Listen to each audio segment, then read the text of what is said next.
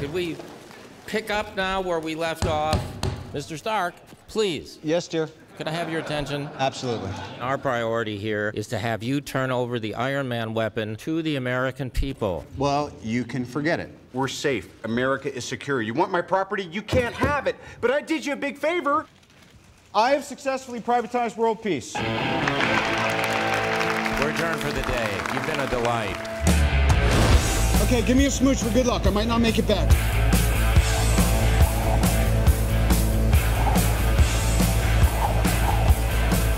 Go get him, boss. You complete me.